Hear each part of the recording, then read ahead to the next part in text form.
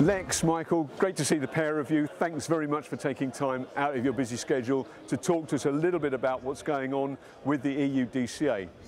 Tell me, as this industry moves from being unregulated to regulated, how are operators and vendors going to prepare for this change? So, you know what, you start with policy. Why not? I started with policy Yeah. with the European Data Center Association five years ago before this man took it over. Um, we saw with the Green Deal white paper that there was this wave to create some form of, of regulation around sustainability.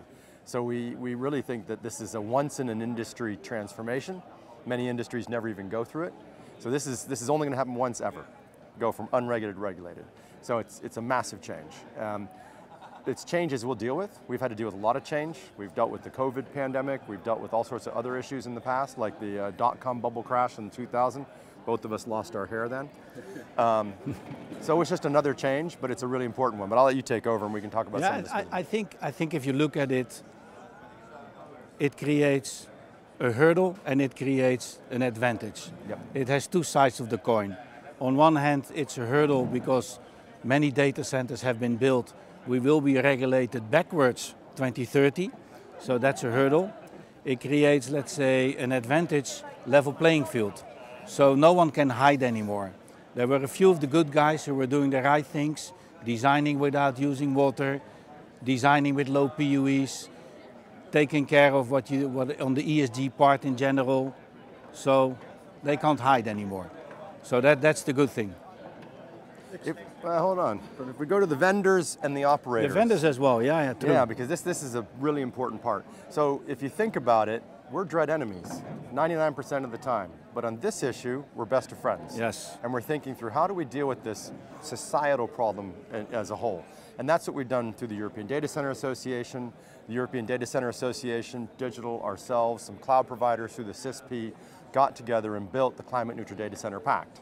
So if you think about the positives, we've established a set of, of climate neutral targets that are both aggressive but achievable. And we've given them to the, to the European Commission, and we're seeing these incorporated into laws. But they do need our vendors as well to work with us. And that's probably going to be on things like transparency and reporting and, and working together to create a transparent world where people can see what we're doing and how efficiently we're doing it. So and then on the vendors, so my, my, my other role where I'm in the governing body of the iMasons, we start looking at embedded carbon. So my liaison in that role with the EUDCA, where we both are, is to ensure that we do not do overlapping stuff. Because although Europe is leading, if we do something the right way on a global perspective somewhere in another country, we should use that. And so what we'll be using the vendors sooner rather than later is to tell us how much carbon is in your product. That's level zero or level one. Then we will say, okay, level two, level one will be, it's split up into these portions. Level three, it will be this material specifically, these amounts.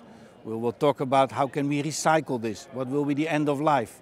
All of that we do somewhere else. We bring it back to, uh, to, uh, to Europe, to EUDCA. We bring it back to the European Commission to make absolutely sure we're not doing double things.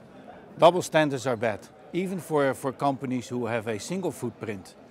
Because if there would be a European standard, and let's just take the IT business, and the IT would use the SRA standard, and we would come up with another standard. So there's a single company in a country, they come up with a standard you can't use. Because the IT vendor will say, oh, that's brilliant what you just asked me, but if you want your warranty, comply with this. So make it one standard, don't be like say, oh, it needs to be a European standard, oh, it needs to be a US standard.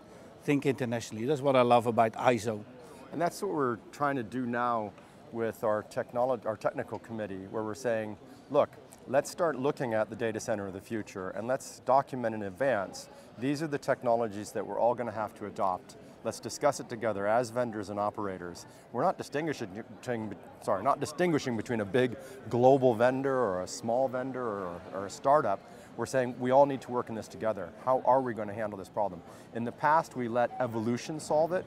Two technologies come along, we'd play a little bit with it, they'd play a Yeah. little bit with it, and then ultimately a technology would become the standard. We got to be a lot more prescriptive now. On top of that, in the past you could make a choice.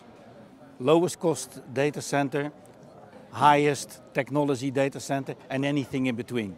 Today is first, what do I think will happen in 10 years from now Yeah. on legislation? What do I think will happen on water? What do I think will happen on carbon? And you need to predict and design according to that. So that's one of the big, big jobs we have today at the large companies. Look ahead. What impact does upcoming legislation have on investment opportunities and how can the sector hope to influence this? I think that first of all there will be a little slowdown because cost of capital went up, but demand is not changing. So demand, we are building something unique. We're building the digital economy, the digital society. Never happened before. So the demand will be there. So eventually it will all flatten out. We will all find our ways to get, let's say, the data center industry boost up again in all kind of construction and development. That's my view at least. And I like your yin and yang story you started with. There's two sides to the equation. You know, the European Commission came out with the Green Deal. We're going to build a green economy. But they also came out with another one, which is we want to build a digital economy. And in fact, they even said we can only hit our sustainability goals if we digitize. Yeah. So the problem with regulations is that it will create a temporary slowdown as we readjust.